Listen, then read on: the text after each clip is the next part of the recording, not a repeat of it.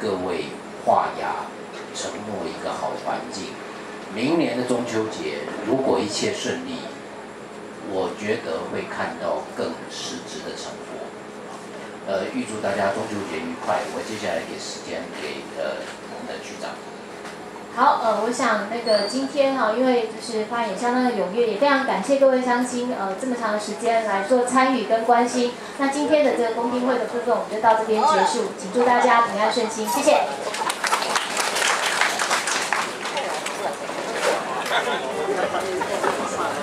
哎，我跟大家讲。